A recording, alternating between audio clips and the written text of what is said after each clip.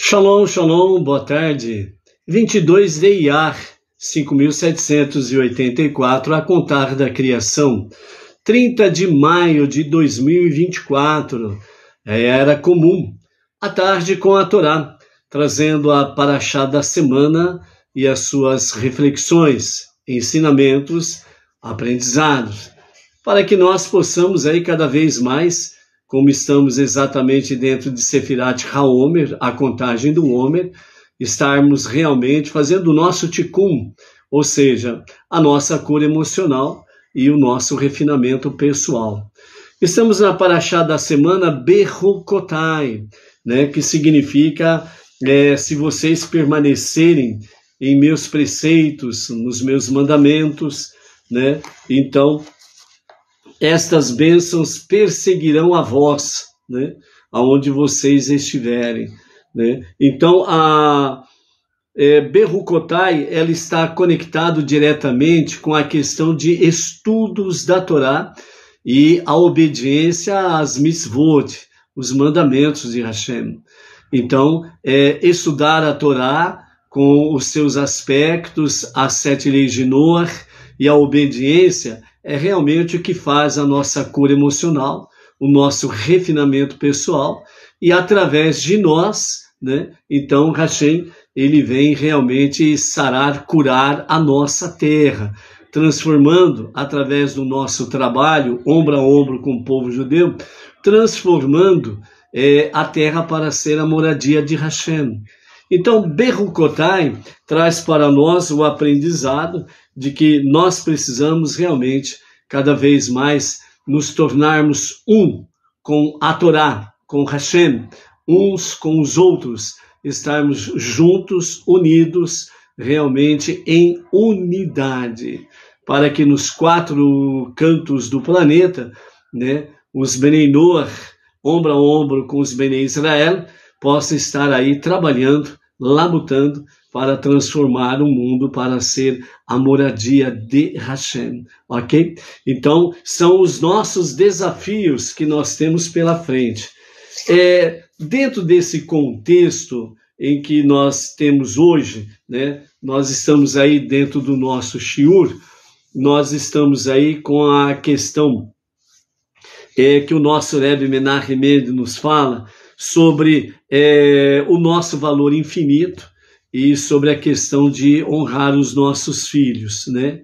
É, isso traz para nós, junto com a Parashá, né, Berrukotai, é, traz para nós uma questão de mentalidade.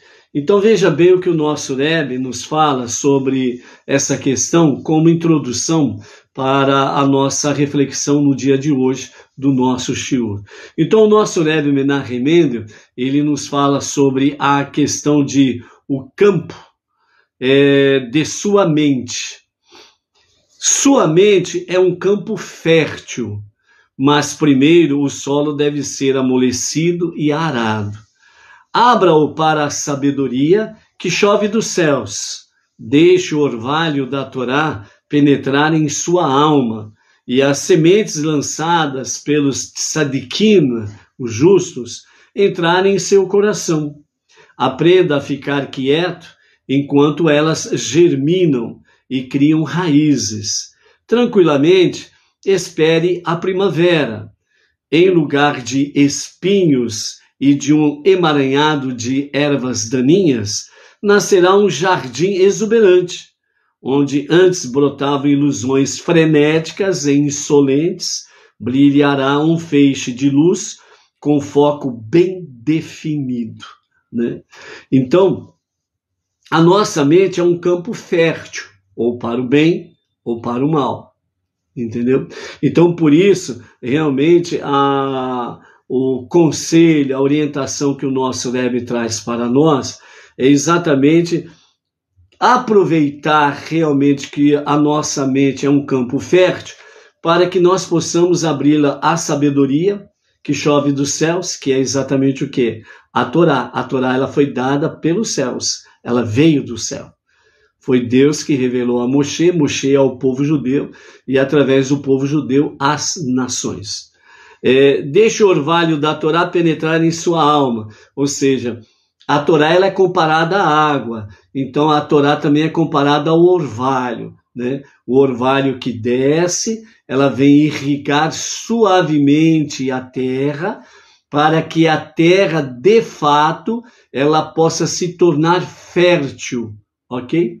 E as sementes lançadas pelo tzadikim, que significa o quê? Os ensinamentos que nós temos através da Torá com as explicações dos tzadikim, né? entre eles o nosso Rebbe Menachem o tzadik da nossa geração, né? Rashi, Maimônides é, e outros tantos que nós sempre estamos mencionando aqui, de acordo com o Rumash que nós vamos estudando né, são os tzadikim, o justo do povo judeu. Então, e também dentro desse mesmo aspecto, né, nós temos aí como mestres, né, o, no caso específico nosso, né, o nosso Rav Yaakov Geranstad, que é a liderança Benenua Brasil. Então, são aqueles que, a quem nós devemos ouvir. Aprenda a ficar quieto enquanto ela germina e criam raízes. Aqui o ficar quieto significa, ó, não deixe com que o seu ego venha interferir nesta é, nesse plantio, por assim dizer, da Torá em nós, né? Não deixe o seu ego, o seu egocentrismo, né, a sua arrogância, o seu orgulho se interpor entre essa graça preciosa que vem do céu, a Torá, com as sete leis de Noor, as suas ramificações, os ensinamentos, né, é, pelos tzadikim, para que possa penetrar é, nos nossos corações, né? Então, tranquilamente, espere a primavera, né? Que significa a, a primavera dentro do aspecto das quatro estações do ano, né? A primavera ela vem logo, ela vem logo após o período de inverno, o inverno é caracterizado por é, obscuridade, frieza, onde a, é, a neve né, ela realmente esconde né, as plantações, ela esconde a beleza da natureza. E quando chega a primavera, então o calor, ela vem realmente dissipar as nuvens espessas, a friagem, né, o gelo, a indiferença, certo? E começa a mostrar a realidade do mundo, mas dentro da nossa configuração, ou seja, os campos verdeje, verdejantes, as árvores, né, começam a dar as suas flores para dar os seus frutos e assim sucessivamente. Então, a primavera ela vem é, transformar um mundo sombrio por assim dizer, né, em um mundo vivo, claro, cheio de luz, de beleza, de flores e frutos. Né? Então, tranquilamente, espere a primavera. Isso significa o quê? Nós precisamos estudar, estudar e estudar. E deixar com que realmente o estudo é, da Torá com as sete leis de Noor ela realmente venha transformar as nossas vidas em uma primavera. E aí, ao começar a dar realmente os seus primeiros frutos, é onde que nós vamos vive, vivenciando a, a vontade divina, né? Então, por isso, nessa, nesse sentido. E então, em lugar de espinhos e um emaranhado de ervas daninhas, nascerá então um jardim exuberante né? Esse jardim exuberante, ele vai, ele vai é, externar, ele vai fazer fluir com que o seu perfume seja irradiante. Né? Então, é, quando você passa perto de uma flor cheirosa, ou quando você se aproxima e cheira de fato uma flor, ou um bom perfume, por assim dizer, ou um bom desodorante também, por assim dizer, né? Então você faz o quê? Que cheiro bom é esse? Que perfume bom, que perfume agradável. Então a primavera, ela vem trazer essa mensagem, um jardim exuberante. E onde está esse jardim exuberante? Aonde que precisa dissipar esse, esse inverno sombrio, frio, indiferente? Nas nossas mentes. A começar nas nossas mentes. As nossas mentes, o nosso intelecto, precisa realmente dissipar todo o inverno daquilo que foi outrora para nós um campo de adoração aos ídolos. A indiferença que tínhamos realmente com a verdade da Torá. Então, a partir desse momento, começa então, a, de fato, a primavera, ou seja, começa a nascer em nossas mentes uma mentalidade judaica, por causa do monoteísmo com fundamento judaico. Então a nossa mentalidade ela precisa mudar. Nós não podemos continuar com a mesma mentalidade de outrora. É transformação da noite para o dia, do frio para o calor. De um jardim cheio de é, gelo, frio, indiferente, insensível, para um jardim exuberante, realmente quente, aquecido, cheio de luz, flores e frutos. Que começa aqui, na nossa mente, mentalidade judaica, transformação, para que comece essa transformação em nós e através de nós, para que de fato, realmente, possamos transformar o mundo para ser a moradia de Hashem. Por isso, em lugar de espinhos e emaranhados de ervas daninhas, nascerá um jardim exuberante, né? onde era antes que brotavam ilusões frenéticas e insolentes, agora brilha um feixe de luz com foco bem definido, né? fazer a vontade divina e transformar este mundo para ser a moradia de Hashem. Né? Então, por isso, dentro desse mesmo aspecto, né, ah, o nosso Shiur, ele vem falar para conosco, né, no dia de hoje, é, as consequências do não cumprimento das mitzvot. Então, se nós não tivermos uma mentalidade judaica, quando nós adentramos aí, né, principalmente no capítulo 26 de Levítico, né, a partir do versículo 14 em diante, né, até o versículo 34, onde nós temos aí uma, uma sequência, né, é, aparentemente, de maldições. Se nós é, não tivermos uma transformação da nossa mentalidade para uma mentalidade judaica, então nós vamos ler a Torá e nós só vamos encontrar maldição.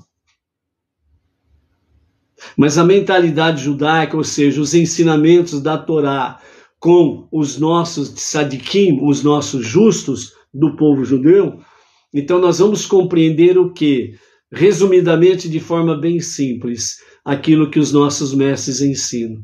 Aquilo que é aparentemente maldição está encobrindo as verdadeiras bênçãos e nós precisamos procurar discernir isso. Então, alguns aspectos dentro desse sentido é o que nós vamos ver no dia de hoje. Por isso que nós temos aí sobre o nosso valor infinito e é sobre a questão também de honrar os nossos filhos. Dentro desse aspecto, descobrindo que realmente é atrás daquilo que se chama de maldição, na realidade está encobrindo grandes bênçãos é, para aqueles que se refugiam em Hashem, ok? Então vejam bem, né, o capítulo 26, a partir do, do, do versículo 14, né, onde nós temos aí consequências do não cumprimento das mitzvot. Então nós temos aqui, até o versículo 34, nós temos aqui uma sequência de 7, 7, 7, 7, ou seja, sete vezes, é, grupos né, de sete vezes, grupos daquilo que aparentemente parecem ser maldições. Então, nós estaremos vendo alguns aspectos dentro desse sentido, com os comentários de Irash, um dos tzadikim do povo judeu, que traz para nós a compreensão realmente é, é, da, de, dessas questões sobre a, o que de fato o que de fato o eterno quer falar conosco, ok? Então vejam bem, segundo o racidismo, né, os nossos mestres do Rabá de racidismo mostram para nós o seguinte: é, a admoestação, na verdade, elas nada mais são do que bênçãos. Com estas palavras, o rabino Sheneur Zalman Deliad condensou a visão racídica sobre os castigos severos que a Torá promete se vocês não me ouvirem né, é, esses mandamentos. Então, no capítulo 26, no verso 14, diz assim: Vocês não me ouvirem, se vocês não me ouvirem. Então aí começa uma sequência é, é, de sete vezes sete, no sentido de aparentes é, é, maldições, mas que na verdade são bênçãos para aqueles que se refugiam em Hashem. E novamente nós temos aqui, dentro do mês de Iyar, dentro do Sefirat Haomer, a contagem do Homer, nós temos exatamente 7 vezes 7. E aí nós temos 49, que estão conectados com Sefirat Haomer. Então, do, no capítulo 16, do verso 14 até o verso 34, nós temos sete grupos de sete daquilo que aparentemente são maldições, mas que na verdade são bênçãos, né? Então, 7 vezes 7, 49. 7 vezes 7, 49 é, mensagens cabalísticas para o nosso ticum, ou seja, para a nossa cura emocional e para o nosso refinamento é, pessoal, cura emocional, melhor dizendo, e refinamento pessoal. Dentro desse aspecto aqui, né, os mestres do racidismo eles continuam dizendo. Então, o Rabi Sheneu Zalman Deriad, ele condensou a visão racídica sobre os castigos severos que a Torá promete, se vocês não me ouvirem. Enquanto esses versículos falam abertamente sobre o exato oposto de uma bênção, não obstante, também existe um elemento interno, subconsciente da Torá, e em cujo nível nós lemos aqui somente bênçãos, através do estudo dos ensinamentos racídicos, que revelam os aspectos internos e subconscientes da alma. Uma pessoa pode alcançar uma união sublime com Deus a ponto de ela poder ver, através do disfarce, que envolve estas bênçãos e apreciá-las em seu real valor, diz o Rabi Sheneu Zalman de Iad, Deliad, ok? Ou seja, esse disfarce aqui é usado como maldição, né? Então, se vocês não me ouvirem, né? Então são consequências do não cumprimento das mitzvot. Se vocês não me ouvirem, não me ouvir de que forma? Por meio do estudo da lei oral. Então, a Torá escrita, ela só é completa quando a lei oral, ou seja, a, a Torá oral, ela traz a compreensão do que está escrito. E só é possível isso através do quê? Através dos sábios do povo judeu. Não do teólogo fulano, beltrano e cicrano mas através da sabedoria judaica. Ok? Se vocês não fizerem todos esses mandamentos, se meus decretos vocês desprezarem, e se isso levar vocês a odiar os sábios da Torá que estudam minhas leis com a alma, e isso levar vocês a impedir que outros cumpram os mandamentos, se vocês negarem que todos esses são de fato meus mandamentos, e se vocês é, quebrarem minha aliança negando os princípios da fé. Né? Então esses são os sete primeiros, né? o grupo, o primeiro grupo de sete. E depois temos mais seis grupos de sete dentro desse aspecto aí, né? Se vocês ainda não me ouvirem. Então, o, continuando os ensinamentos racídicos, falo para nós compreendermos essa realidade aqui. O conceito de que uma bênção sublime pode ser expressa por uma linguagem negativa não é de origem exclusivamente racídica, podendo ser encontrada no Talmud, Moed, Catan 9a e b. Quando o Rabi Shimon Bar Yochai enviou seu filho, o Rabi Elazar, para receber as bênçãos de dois sábios, o Rabi Onatan ben Asmai e o Rabi Erudá ben Gerim, então eles responderam com o que parecia de fato uma série de maldições. E quando realmente ele retorna ao seu pai para responder, né, o Rabi Elazar, ele retorna ao Rabi Shimon Bar Yochai, então ele diz para o pai dele, pai, eu fui buscar bênçãos lá, mas a coisa é muito séria, porque só veio maldição, né? Ou seja, que seja a vontade de Deus que você semeie e não colha. Que o que você traga para dentro não saia e o que você traga de fora não entre. Que sua casa seja desolada e seus alojamentos temporários habitados. Que sua mesa seja perturbada e que você não veja o ano novo. Então, o, o Rabi Elazar, ele falou para o seu pai, falou, pai, é só maldição, né? Então aí o, o Rabi Shimon Bar Yochai, ele respondeu, né, ao seu filho Rabi Elazar, falou, não, são bênçãos. Mas pai, como pode ser bênção? Eu só estou vendo aqui maldição. Então o Rabi Shimon Bar Yochai disse, não, e vou fazer você compreender que não é maldição, é bênção. As aparentes maldições, elas são um disfarce para que possamos compreender as bênçãos que estão ocultas dentro das aparentes maldições. Por quê? Para não chamar a atenção dos invejosos, daqueles que têm ciúmes, para não chamar a atenção daquele que tem o olho gordo, o olho que seca tudo para não chamar a atenção dos nossos inimigos. Porque ao ouvirem, eles vão dizer: é só maldição, não vou perder nem meu tempo com ele. Então, os teus inimigos, os nossos inimigos, nos deixam em paz e podemos desfrutar realmente das bênçãos de Hashem. Né? Então, estas são todas as bênçãos. Shimon Bar Yochai vem esclarecer para o seu filho e para nós também, dizendo: que você semeie e não colha significa que você terá filhos e eles não morrerão.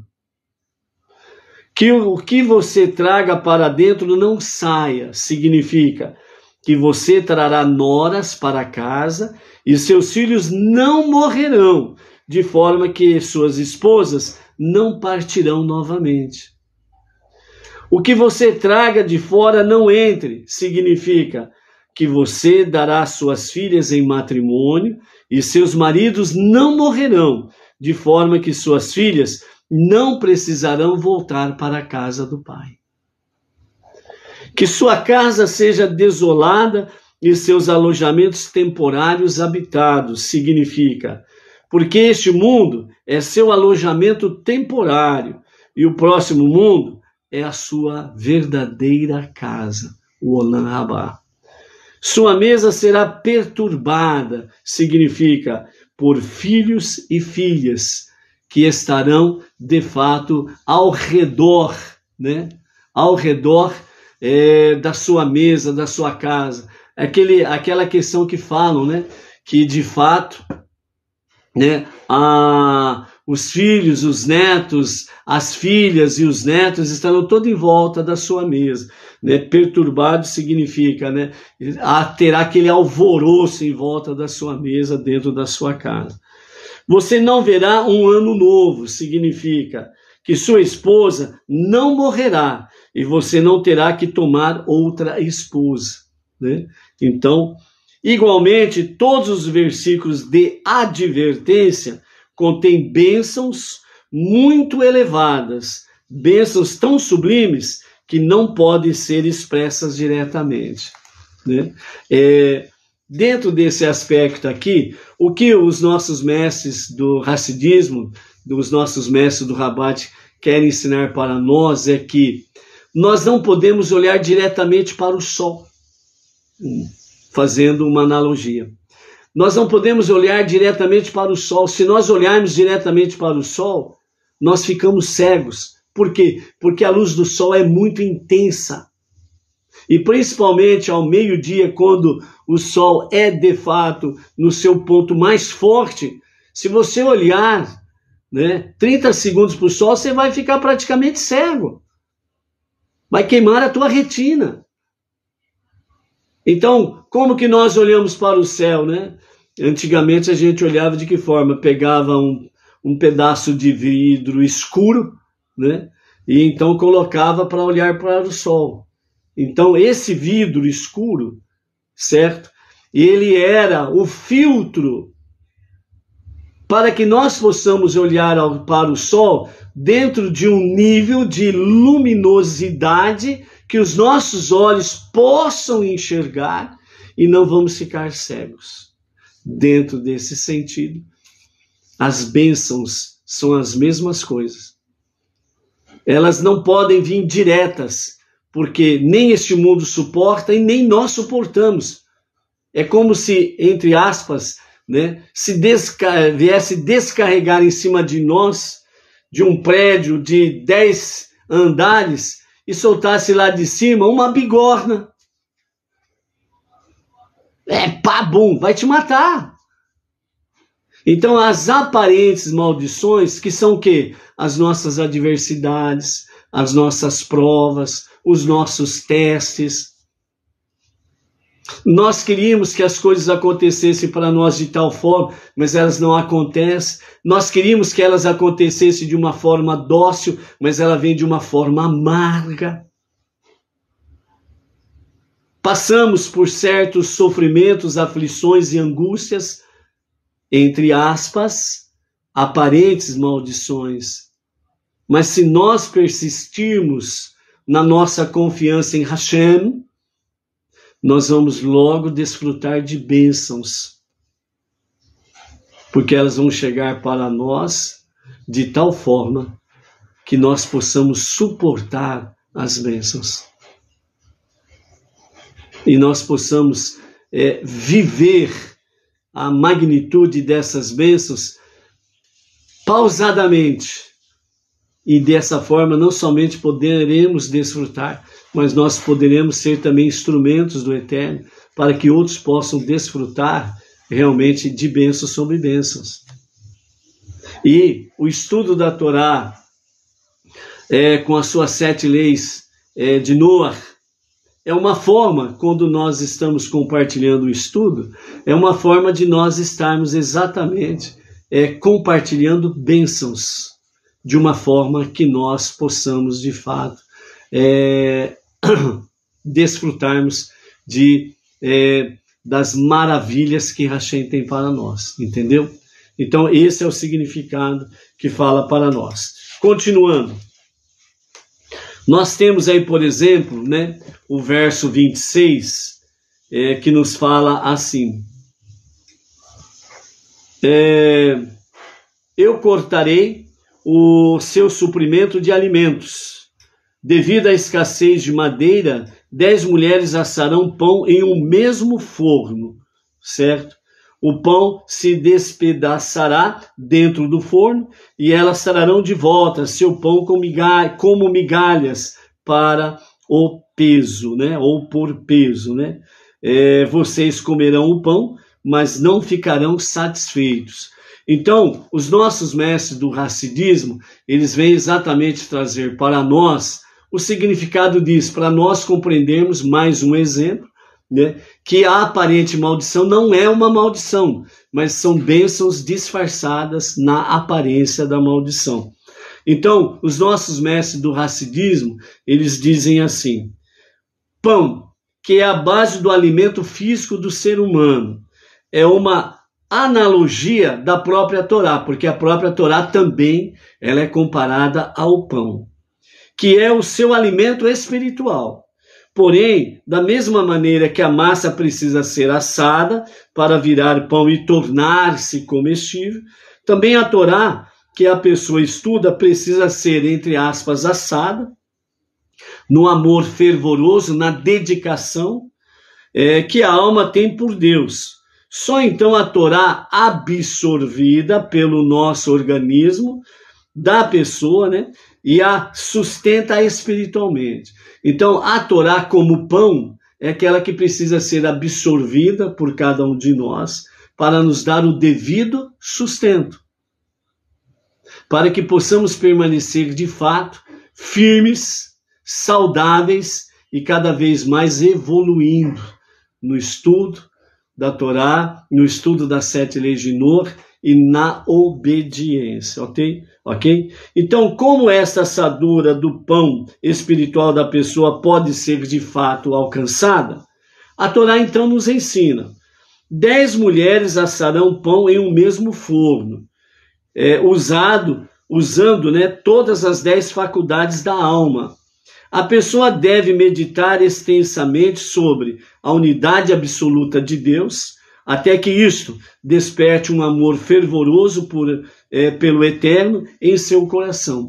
Então, as nossas faculdades mentais e emocionais, nós temos sete atributos emocionais e nós temos três atributos da inteligência, que está conectado com a sabedoria, conhecimento e entendimento e as sete alma e as sete, os sete atributos das nossas emoções. Então, esses dez atributos do ser humano, eles precisam realmente estar envolvido cada vez mais nesta é, no estudo da Torá, das sete leis de Noor, numa unidade absoluta com Deus, em Deus que nós só podemos alcançar através do estudo da Torá, do estudo das sete leis universais, porque elas são intrínsecas, elas estão interligadas, ligadas, atadas e inseparáveis. A Torá com os 613 mandamentos para o povo judeu específico e as sete leis de Noah para as nações, para os Menenor. Ok? Então, dessa forma, é, venha despertar um amor fervoroso pelo eterno em nosso coração. Então, o, o, o nosso amor por Hashem, ele precisa ser fervoroso, ardente, apaixonante, vibrante. Isso significa o quê? Assim como o homem e a mulher, o noivo e a noiva, o esposo, a esposa, amam-se fervorosamente e o que mais eles desejam? Estar juntos, estar unidos, estarem conectados. Por quê? Porque o amor é apaixonante e vibrante, fervoroso um pelo outro. Então é aquela mesma questão. Um exemplo: é, a pessoa sai do serviço, ela sai do serviço. Aquele que é realmente apaixonado pela sua esposa, que tem um amor vibrante, fervoroso, o que ele mais quer é sair do serviço e encontrar a esposa. Se ele pudesse, ele iria que nem o Superman, né? E saía do serviço já e pau, já saía voando para chegar em segundinhos lá em casa lá para estar junto com a, a esposa amada. Mas tem aquele que sai do serviço, vai junto com os colegas, para num boteco, fica até as 10 da noite. Aí a Dina veio dar uma risadinha aqui, ó. não sei porquê.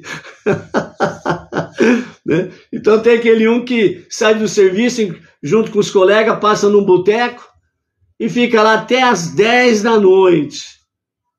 Depois chega em casa lá com, a, com o caneco cheio, né? fedendo a bebida alcoólica, né? E chega lá, mal dá um beijinho na mulher, mal faz um carinho nos filhos, vai tomar banho, né? Não vai comer nada que a esposa preparou, porque lá no boteco encheu a barriga cheia de porcaria e pronto, cai na cama, desmaia, para poder ir trabalhar no dia seguinte e fazer a mesma caca no dia seguinte. Então, essa é questão. Dentro da Torá é a mesma coisa.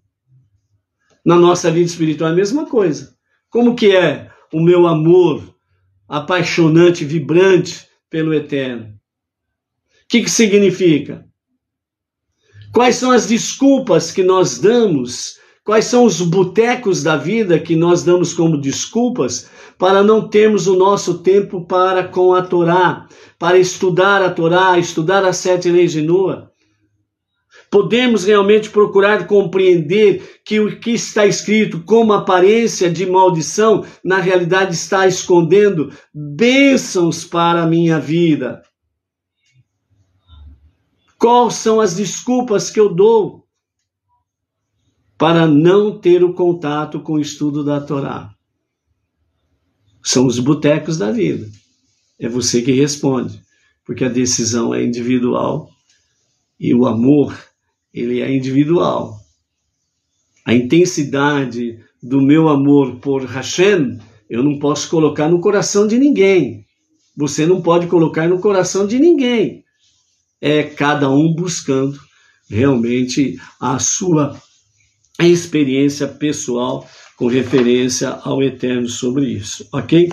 Então, por isso, nós temos também ali é, no no versículo 41, né, capítulo 26, versículo 41, né, é, 40 e 41. É, eles então confessarão seus pecados e os pecados de seus pais por terem sido falsos e permanecerem indiferentes a mim. Então eu também os tratarei com indiferença e eu os trarei à terra de seus inimigos. Talvez então seus corações teimosos tornar-se-ão humildes e os seus pecados assim espiados. Né? Então, segundo os comentários de Torat Kohanim, a confissão deles é um ato de techuvá genuíno. Então aqui nós temos realmente a questão da confissão, uma techuvá genuína, verdadeira, autêntica, um retorno a Deus para um verdadeiro e genuíno arrependimento. Então, na realidade, nós não temos aqui uma maldição, mas uma bênção. Ou seja, enquanto o povo judeu estiver nas terras de, na, nas terras de seus inimigos, Deus lhe enviará profetas que os ajudarão a retornar completamente a Deus. Então, por isso, né, ouvir os profetas de Hashem, ouvir, no, no caso do povo judeu, né, durante o seu período em que haviam profetas, ouvir os seus profetas. Depois que não houve mais profetas levantados pelo Eterno, não essas profetadas que tem por aí. Tá cheio de profetas e profetisas, né? Falando um monte de baboseira, se comportando indecentemente e dizendo: Deus diz, e Deus não falou nada. É tudo movido pelas emoções infames, egoístas, traiçoeiras desse monte de profetas e profetisas que tem por aí. Então não são esses profetas, ok? Não há mais profetas. Faz muito tempo. O que tem realmente depois que acabaram-se os profetas, são os tzadikim, os justos do povo judeu, não de outros povos. Os justos do povo judeu, os tzadikim, aqueles que realmente adentraram com, é, de forma compenetrada nos estudos da Torá de forma intensa, para poder receber de Hashem os devidos esclarecimentos da palavra, para poder trazer não somente ao povo judeu, mas principalmente depois da década de 60 para cá, com a liderança do nosso Rebbe Menachem Mendel, né, os rabinos nos quatro cantos do mundo começaram a trazer esse entendimento, essa sabedoria para as nações. E através do movimento Benei no mundo inteiro, com os rabinos Rabad principalmente, né? É, começou a realmente trazer esse conhecimento, essa verdade da Torá nos seus ensinamentos mais profundos, certo? Então aqui nós temos, né, não maldição, mas uma bênção. Enquanto o povo judeu estiver nas terras de seus inimigos, Deus lhe enviará profetas que os ajudarão a retornar completamente a Deus certo? Depois dos profetas temos os tzadikim, que têm se empenhado nesse mesmo papel, de fazer o próprio povo judeu retornar a Hashem, e através dos seus rabinos, a partir da década de 60 para cá, certo? Né? O movimento Rabad com seus rabinos levou as nações a oportunidade de fazer techuvá, um retorno autêntico e verdadeiro através do arrependimento para com o único Deus, o único Redentor e Salvador. Então, nós estamos vendo dentro desse aspecto realmente essa graça maravilhosa que Hashem tem nos dado. E nesse sentido, né, são de fato é, a questão das bênçãos disfarçadas, né, é, que nós falamos no shiur passado, e está caracterizado aqui nessa forma. E dentro desse sentido, nós temos aí sobre a questão, é, a partir do, do capítulo 27, nós temos aí o aspecto sobre a questão de é, o nosso valor infinito, que fala aqui através exatamente sobre a questão de avaliação das doações ao templo, né? É, tanto para judeus como para não judeus, as suas doações para com o templo. Então, é, Deus é, instruiu Moshe para dizer ao povo: o sacerdote deve avaliar o doador de acordo com quanto ele pode pagar. Né? A riqueza do doador se avalia de acordo com o que ele efetivamente possui independente do fato de ele ter escolhido fazer uso de toda a sua riqueza ou de apenas parte dela. Deus nos avalia de maneira semelhante. Todos nós recebemos a Torá quando as nossas almas estiverem presentes no Monte Sinai, de modo que ela, na sua totalidade, é nossa herança e posse. Portanto, independentemente do quanto tenhamos estudado e internalizado a Torá, Deus nos considera ricos no sentido espiritual. Essa avaliação favorável que o Eterno faz da nossa riqueza e valor é, penetra gradualmente na consciência das demais nações. Por isso, os não-judeus, estejam ou não conscientes disto, tem uma elevada e profunda estima pelo povo judeu. Reino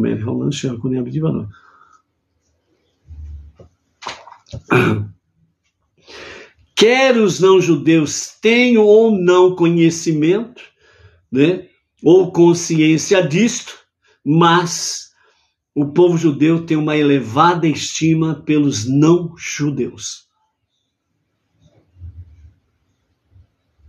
O povo judeu é o único povo que nunca guerreou para conquistar nações A, B ou C.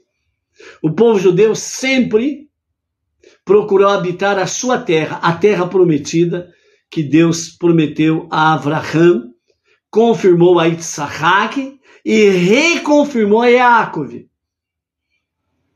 dizendo: eu, eu espalharei a sua descendência entre as nações, mas eu os reconduzirei à terra dos seus ancestrais. Avraham, Isaac e Jacob. Por quê? É, porque Avraham, Isaac e Jacob habitavam a terra de Canaã, a terra prometida, mesmo antes de Josué tomar posse oficialmente da terra prometida. Então, por isso que fala dos ancestrais. Porque Adão, Abraham, Isaac e Jacob, eles habitaram a terra prometida. Porque Deus confirmou, Deus fez o pacto com Abraão, confirmou com Isaac e reconfirmou com Jacob. Esta é a terra que eu prometo à vossa descendência. Ponto final. Então, o povo judeu sempre quis viver em paz na sua terra, a terra de Israel. Como os próprios mapas né, é, demonstram o Oriente Médio. Do Oriente Médio, 100% do Oriente Médio, o povo judeu ocupa apenas 1% de todo o terreno no Oriente Médio. Enquanto que o mundo árabe, ele habita 99% das terras no Oriente Médio.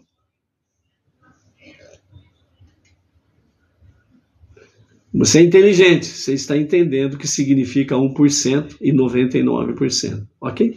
Então é isso daí. É, dentro desse sentido aqui, o nosso valor infinito, né, a riqueza do doador, né, é, efetivamente, Deus avalia cada um realmente por aquilo que ele tem, por aquilo que ele possui.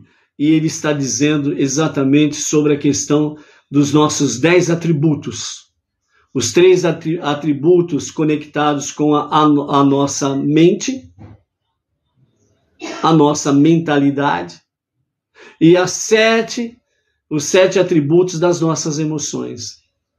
O nosso valor é inestimável, o nosso valor é infinito.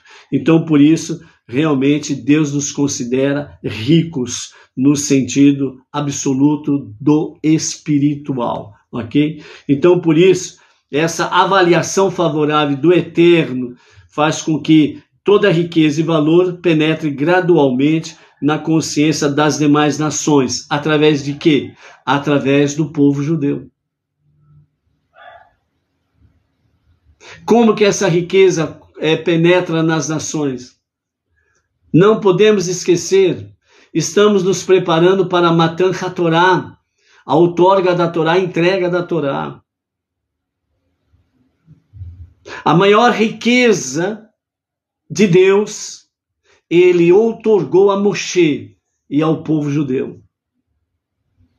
E nesse mesmo sentido, Deus já estava estabelecendo ali para que isso fosse compartilhado através do povo judeu com as nações, por causa das sete leis de Noa que estão implícitas, estão incluídas elas estão ali de braços dados com os 613 mandamentos do povo judeu.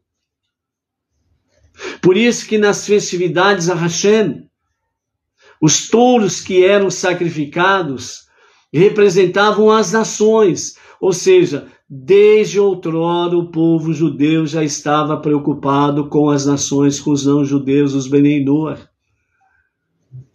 e o sacrifício era no sentido realmente de serem expiados os pecados das nações, para que as nações não entrassem num caos absoluto e deixassem de existir. Graças ao povo judeu, que as nações existem, quer aceite ou não, quer tenha consciência ou não, mas o povo judeu sempre teve os não-judeus em elevada estima. O problema é que as nações sempre foram agressivas e sempre tiveram ódio gratuito contra o povo judeu. E o povo judeu precisou, de certa forma, estar recolhido. Através do nosso Rebbe Menachem Mendel, principalmente, nas décadas de 50 e 60 para cá, então o, o povo judeu, através dos rabinos, o judaísmo, através dos rabinos, está afronhado entre as nações. Hoje, realmente, o judaísmo está presente em todas as nações, em toda a tecnologia, em toda a internet. Contudo, não basta possuir uma riqueza inerentemente espiritual.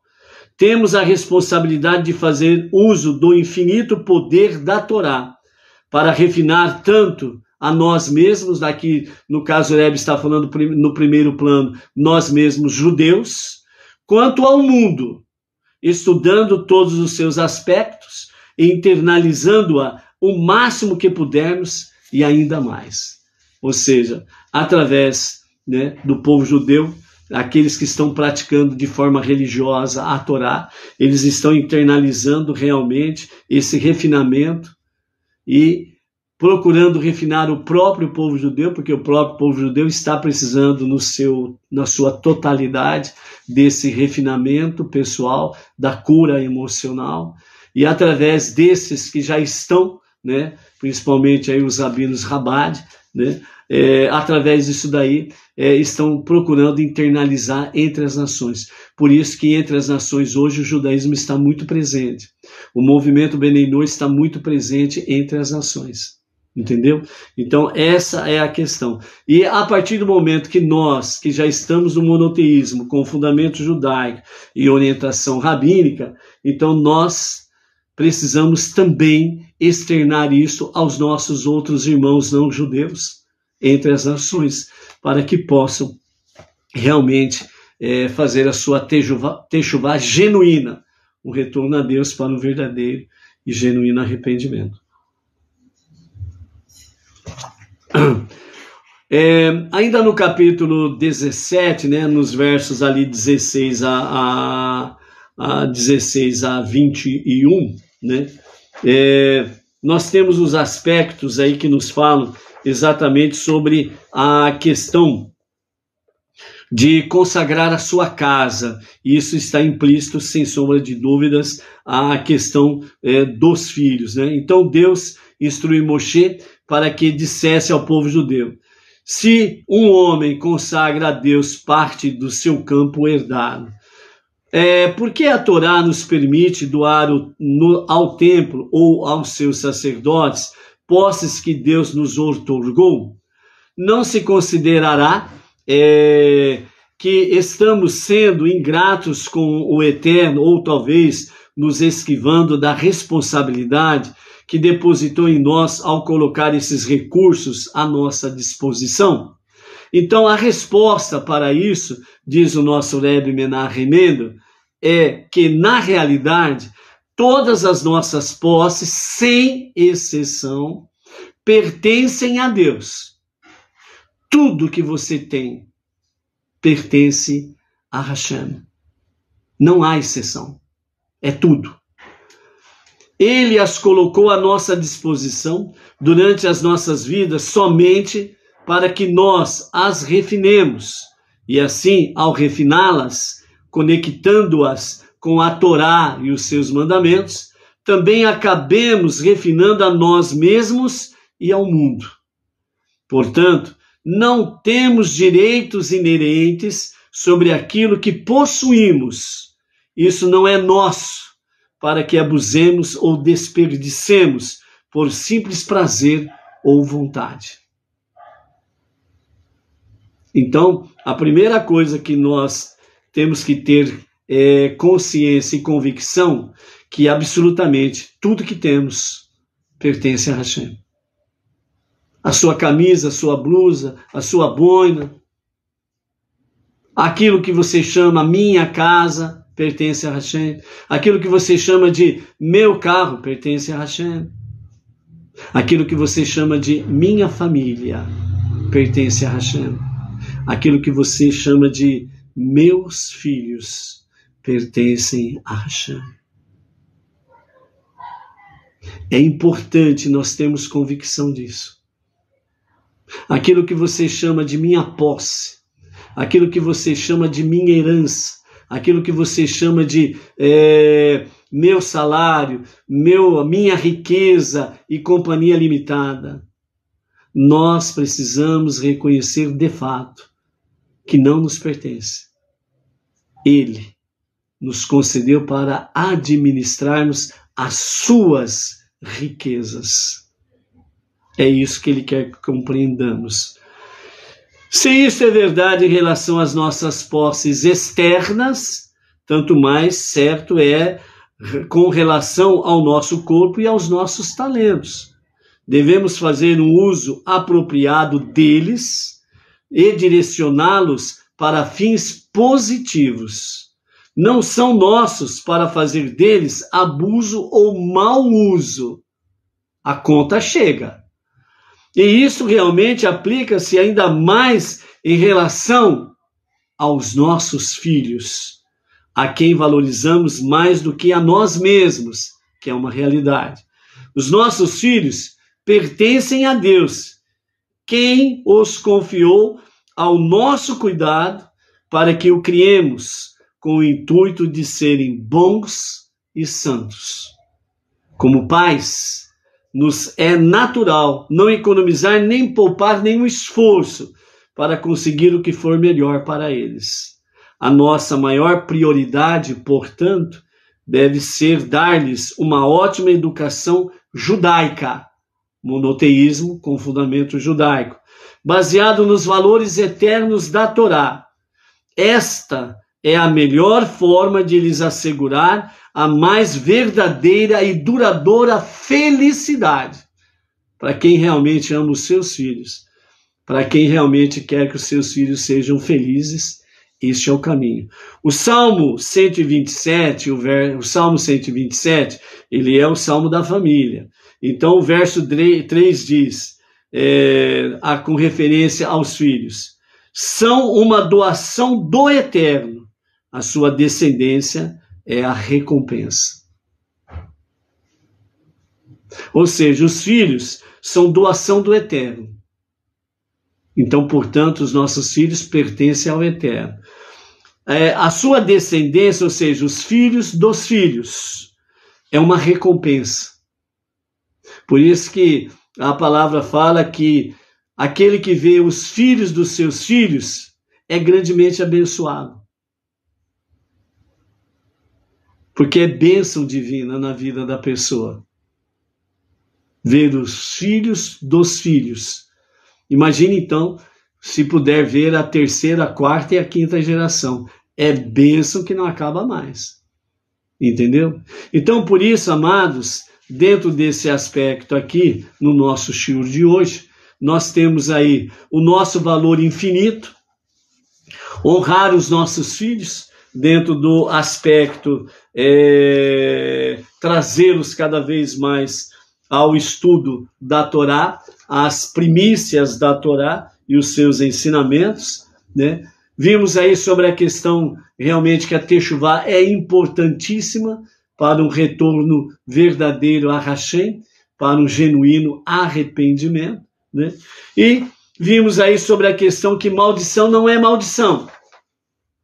Ela está disfarçando as grandes bênçãos que nós temos para as nossas vidas.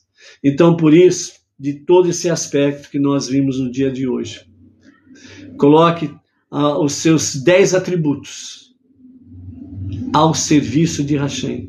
Os três conectados à sabedoria, a mente, a sabedoria, o entendimento, a compreensão, o conhecimento. E as sete emoções completamente ao serviço de Hashem.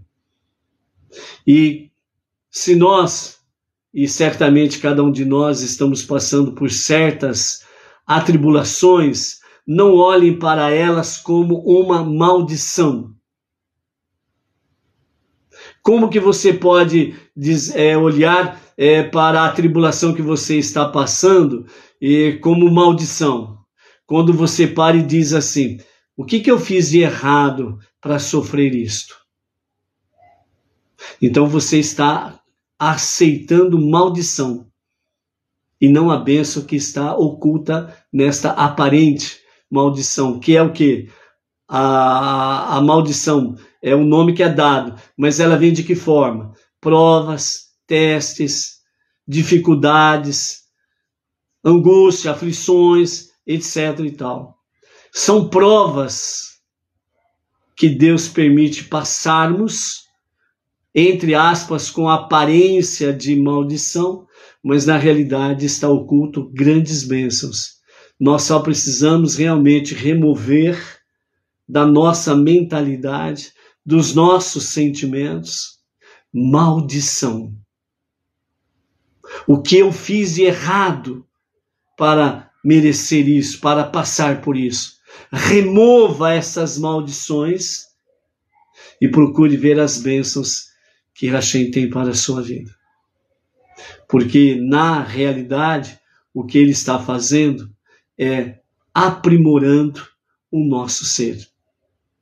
A cura das nossas emoções e o refinamento pessoal, para sermos melhores, maiores, para que o nosso valor, que é infinito, seja cada vez mais valorizado e que nós possamos sempre conduzir os nossos filhos à presença divina. Ok?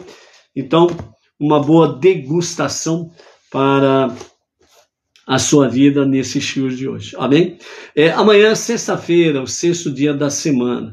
Então amanhã o acendimento das luzes especiais de Shabat serão às 17 horas e 8 minutos. Então às 17 horas e 8 minutos o acendimento das luzes. As mulheres judias e as Batinor estarão acendendo as luzes nesse horário, às 17 horas e 8 minutos. A Batinor, né? esqueceu, passou do horário, etc e tal, já anoiteceu, acenda da mesma forma. A mulher judia não poderá acender depois desse horário, mas a batinua pode acender depois desse horário. O importante é acender as luzes de Shabbat, ok? E a partir das 20 horas e 15 minutos, nós estaremos transmitindo ali da sinagoga Benem Noa Regional Bauru, interior de São Paulo, é, a celebração do Shabat. Né? Então, é, é, nós estaremos ali, eu e o, e o, emissário Emerson Felipe da Silva, estaremos aí transmitindo a celebração do Shabat, ok? E amanhã é dia da, é, do nosso emissário Emerson trazer uma mensagem preciosa para a nossa reflexão. Então, não perca aí. Vamos juntos louvar a Hashem, Vamos juntos fazer as nossas preces a Hashem, reconhecendo a Ele como o único e verdadeiro Criador, reconhecendo que Ele é a única força propulsora deste universo todo, né, com mais de um trilhão de galáxias, que Ele é o único em todos os sentidos, o único Criador, o único Redentor, o único Salvador, dando a Ele a devida honra e o devido louvor. Então, vamos aí à noite, hoje à noite, às 20 horas, temos o nosso encontro do Sefirat Haomer, a contagem do homem, e amanhã nós temos aí a celebração do Shabat. Shalom, shalom. Até lá. Amém.